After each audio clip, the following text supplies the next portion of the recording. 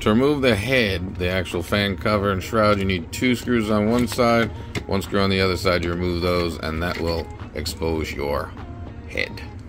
Here is the hot end currently for the Ender 3 V3 SE. We're going to go ahead and change this over to the ceramic hot end that works on the K1. Since we already took this off earlier, we're going to go ahead and just backtrack a little bit. Remember, you take those four screws off of the side to pull off the actual motor. You do want to uh, disassemble your BLCR touch, whatever it is, and unscrew from here and leave this loose. I'm to change out the hot end on the back, just like on the Sprite drives and the other one. I've already started. You're going to remove the little baby screw, this little one here, from out of the back side, and your head should pop off. And then you just unclip your two wires, one for your heating element, one from your thermistor.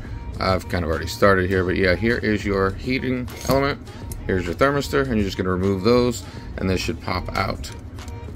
Let's do that. Boom, off comes the hot end.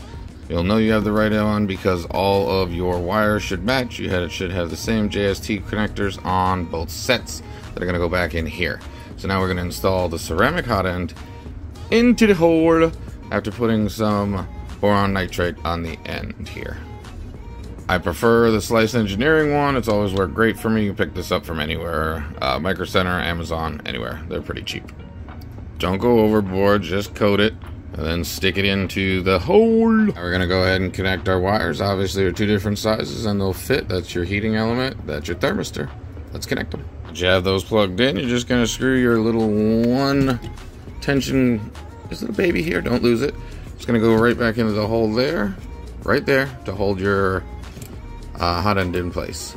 Make sure it's lined up straight, then screw that in. It's nice and snug and the nozzle doesn't move once you tighten that down on the throat, so it should be good to go. And now we're to put things back together. Here you'll see the hole here. You're to actually put that tube back into the extruder to uh, put your extruder motor back in place and then screw it in place. Let's do it. As you see, it slid right in, holes line up. Now we're gonna put the screws right in here.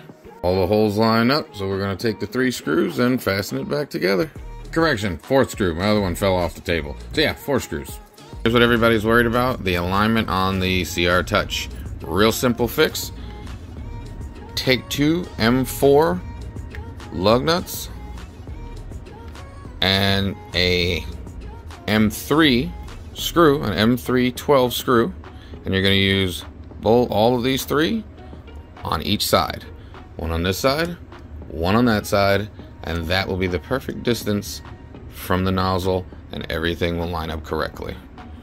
This is how it should look once you've installed it with the nuts on the back side and the screw by itself on the other screw head on the other side. And then you're going to screw it into the gap there and the gap there on the other side. So let's finish this and I'll show you what it looks like. And there you go aligned up correctly just above the nozzle so that when the dauber drops, it's going to be in the right position as it should be. And that's it.